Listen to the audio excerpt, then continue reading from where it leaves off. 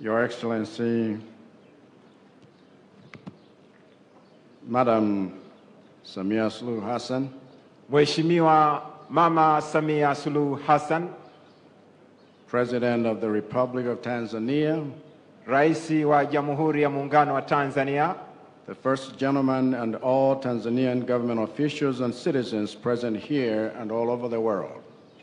wakuu wa nchi na serikali wote mliopo mahala hapa, Your Excellencies, fellow heads of state and government here present, wakuu wa nchi na serikali wote mlioko mahala hapa, Your Excellencies, former heads of state and government here present, wakuu wa nchi na serikali wote mliopo hapa, Madam Janet Magufuli, former First Lady of Tanzania and surviving widow of late President John Pombe Joseph Magufuli, Mama Janeti Magufuli, mke wa hayati Daktari John Joseph Pombe Magufuli, together with all members of the bereaved family, pamoja na wanafamilia wote, ladies and gentlemen, mabibi na mabwana, pole sana.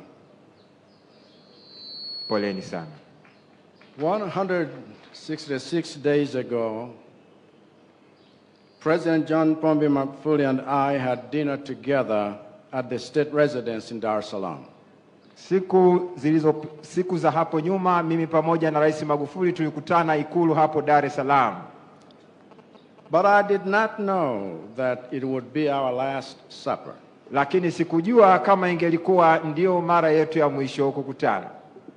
The following day, he saw me off the apron of Julius Nyerere International Airport. Siku iliyofuata alinisindikiza mpaka uwanja wa ndege wa Julius Nyerere wa kimataifa, But I did not know that it would be our last. lakini Goodbye. sikujua kama ndio ingelikuwa mara yetu ya mwisho kuonana. Today, I join you all in a state of shock and grief Leo ninaungana nanyi katika hali ya majonzi na huzuni, representing not just myself, but all the peoples of Malawi, nikiwawakilisha watu wote wa Malawi.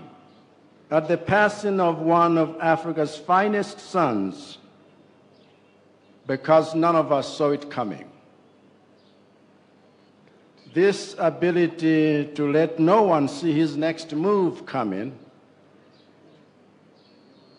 which we will be, we find unsettling in death, is also what we find inspiring in life.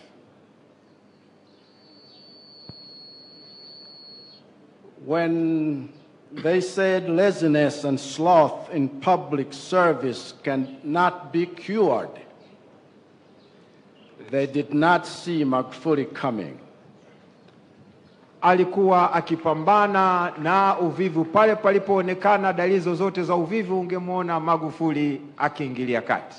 When they said the cartels of corruption strangling Africa's governments cannot be defeated, they did not see Magufuli coming.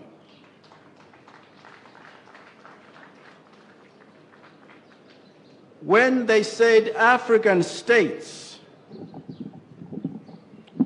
cannot become middle income economies within a single presidential term, Eh, they didn't see Magufuli coming. na watu walivyokuwa wakisema Afrika haiwezi kufikia uchumi wa kati, wakashuhudia kwamba ndani ya kipindi cha miaka mitano tu nchi inafikia uchumi wa kati. When they said infrastructural projects in Africa cannot be completed on time and on budget, Na waliposema kwamba miradi mikubwa ya miundo mbinu haiwezi kukamilishwa kwa wakati na kwa bajeti mwafaka, they did not see Magufuli coming. hawakumwona Magufuli kwamba anaweza kulifanya hilo.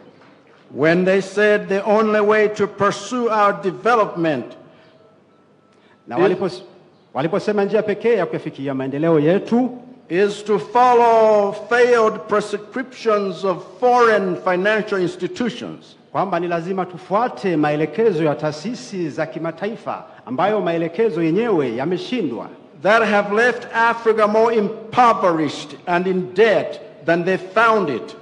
na maelekezo hayo ambayo tumekuwa tukipokea kutoka taasisi za kifedha za kimataifa yameacha Afrika ikiwa imeumizwa na madeni mazito na They ikiwa did maskini not zaidi. see Magufuli coming.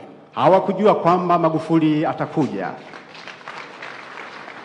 To us, who had the privilege of knowing the unpredictable Magufuli, Na kwetu sisi ambao tulipata fursa ya kumwona huyu Rais Magufuli ambaye hakuweza kutabirika, the example of his life of service shall never be a launching, shall ever, forever be a launching pad of our own.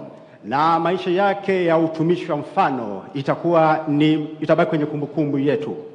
To us who have the honor of going through this world as Africans, Na sisi ambao tumekuwa na heshima ya kuishi hapa ulimwenguni kama Waafrika, magufulis love of country shall forever be a light on that pilgrimage. mapenzi ya Rais Magufuli kwa nchi yake itakuwa ndiyo mwanga katika safari yetu kama Waafrika.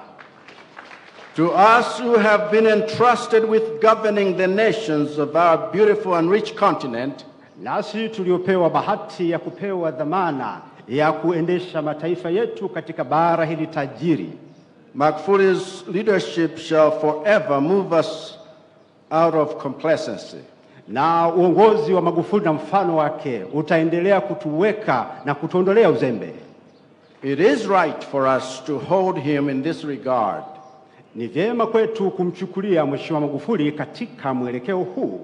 John Pombe Joseph Magufuli was not just an icon, Mheshimiwa John Pombe Magufuli hakuwa tu nyota, he was a hero. alikuwa ni shujaa. May his name be preserved in every capital of Africa.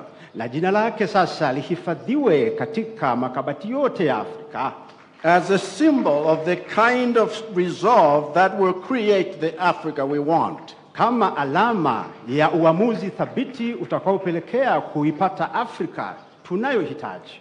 May his work be venerated in every village as an example of worthy of our imitation. Na maneno yake sasa yafuatwe katika kila eneo, katika vijiji vyetu, tufuate mfano wake, And may his soul rest in eternal peace na roho yake ipumzike kwa amani, as he meets with his God, na atakapokwenda mbele za Mungu, with whom we hope to one day see Magufuli coming. nasi tu, siku moja tutaweza kumwona Magufuli.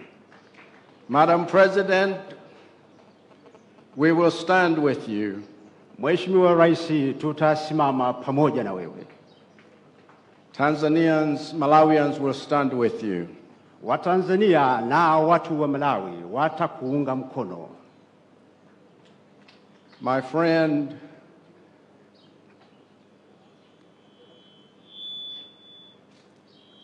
kwa heri ndugu yangu. Rafiki yangu, kwa heri ndugu yangu. My deepest condolences to you all. Natoa pole zangu za dhati kabisa kwenu.